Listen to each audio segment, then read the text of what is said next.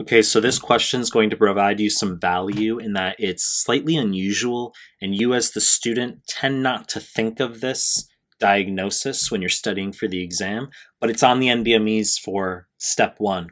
And truthfully, this is fair game for 2CK as well. Okay, this is a, I would say, very solidly an IM level question for 2CK, but this is similar to question I've seen on NBME for step one. Uh, so give you some value here. You'll be pretty content with this. So 52 year old dude, he's got pain and numbness in his left hand for the past week. Vitals are normal. Peripheral pulses equal and full bilaterally. Cardiac exam shows a mid-systolic click. That's your mitral valve prolapse. Completely benign incidental finding. Usually in USMLE vignettes, they like doing this. And in turn, I uh, did the same by being an asshole here. Okay, why not just throw it in the vignette for kicks? They like doing this for psych questions. So they might give you a panic attack where there's a mid-systolic click and you're like, OMG, is it cardiac? It's not. It's just they like throwing it in as an incidental finding. So photograph of the hand is shown. You can see it's erythematous. This is called erythromelalgia. Erythromelalgia. Erythro red, melalgia pain. Uh, so painful red hand. This can be seen with many diagnoses. Uh, classically, Raynaud phenomenon although this is not Raynaud phenomenon. Uh, that's classic for CREST syndrome, part of systemic sclerosis. Also, uh, Waldenstrom macroglobulinemia, which is not the diagnosis here, but we'll talk about uh, shortly. But uh, nevertheless, painful red hand, okay? So we just keep reading. Hemoglobin 14.4 grams per deciliter, that's in the normal range, 13 to 17.5 for men and non menstruating women. Hematocrit 43.2%, normal range is going to be 47 plus or minus 5 for men and non menstruating women.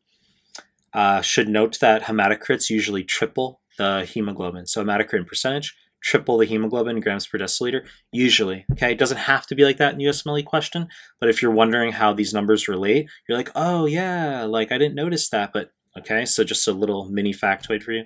MCV 90, uh, that's normal range, so 80 to 100 femtoliters.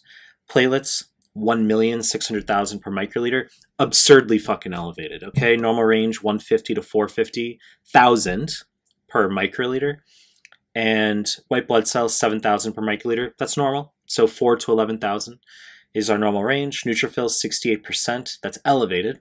So neutrophils we expect 55 to 60%.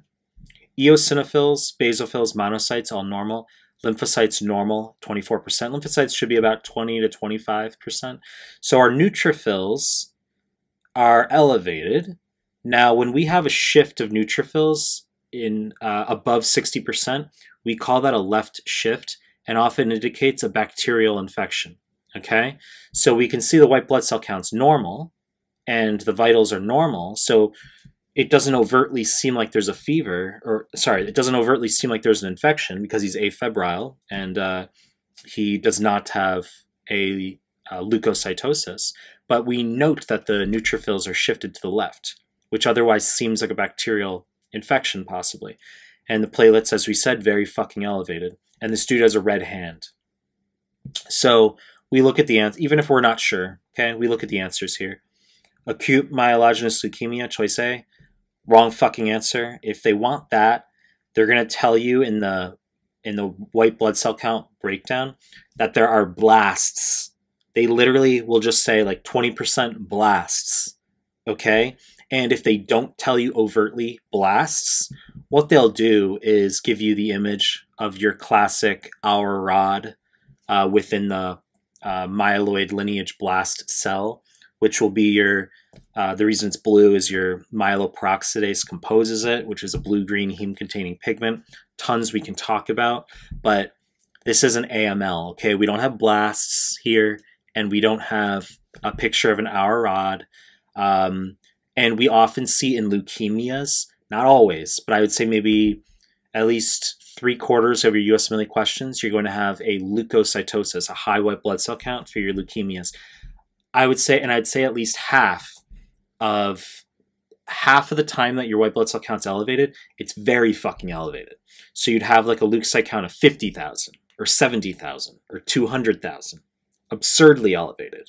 Whereas infections tend to give you white blood cell count in the teens, or in the 20s thousand. Pertussis, sometimes 30 to 40,000, can look like leukemia, ALL in a kid, not to get sidetracked. But, uh, and then fewer, some difficult 2CK questions might give you EG CML, where your white blood cell count's only 14,500, could be 200,000, but it might give you only slightly elevation, slight elevation in white blood cell count. I'm articulating this as I am because when you're trying to diagnose a leukemia on the step, it should be a red flag in your head when your white blood cell count is super fucking elevated. But it doesn't have to be. And rarely it can be in the normal range or even low. I've seen an ALL question in a kid where it was low. It almost looked like an aplastic anemia. So I'm just going to keep moving us forward. Chronic myelogenous leukemia, wrong fucking answer. If that's the case, they're going to tell you increased metamyelocytes, myelocytes, promyelocytes. They will mention at least two of those cell types in the spread. Okay, so it's often a way to instantaneously answer the question. Um, they like giving you a smear that shows you all different types of cells. Looks like a motley mix, is how I colloquially refer to it as, which is literally showing your metamyelocytes, myelocytes, promyelocytes. Okay, and uh, Philadelphia chromosome, okay, 922 translocation BCR-ABL, and it's an oncogenic tyrosine kinase, and you treat with a imatinib, which causes fluid retention. Imatinib being uh, a BCR-ABL tyrosine kinase inhibitor. So we move forward. Essential thrombocytosis, close, but wrong fucking answer. So the reason essential thrombocytosis is wrong, essential, thromb- essential thrombocytosis is caused usually by a JAK2 mutation. It's a type of myeloproliferative disorder. And uh, we are going to have classically polycythemia vera, myelofibrosis, essential thrombocytosis. These are classic diagnoses seen with JAK2 mutations, okay? And essential thrombocytosis is going to give us a high platelet count. And you say, well, why would that be wrong here? Okay, high platelets can cause our erythromelalgia. The platelets lodge in the small vessels, cause pain. You say, why couldn't this be essential thrombocytosis? It's because of the neutrophils being elevated, which gives us a diagnosis of secondary thrombocytosis, also known as reactive thrombocytosis. Okay, this is what the NBME wants. They want you to be able to differentiate reactive thrombocytosis, which is due to infection, and essential thrombocytosis, which is just uh, an etiology due to a JAK2 mutation unrelated to infection. You say, but I don't get it. How does like infection relate to high platelets? Sometimes infections can cause high platelets. You might get an endocarditis question where they tell you the platelets are 900,000. You're like, what the fuck? Why are the platelets 900,000? It's called reactive thrombocytosis or secondary thrombocytosis. It can happen sometimes. You'll see it especially in 2CK level questions, all right? Uh, platelets might be a million. So that's when I'm going through this question, if you were to send me this type of question, I would say, oh, wow, okay, platelets are fucking elevated. Looks like essential thrombocytosis. Oh, but the neutrophils, there's a left shift. He's afebrile. Okay, challenging. And the white blood cell count's normal. Challenging. But that's a neutrophilic shift. They're real fucking slick. Okay?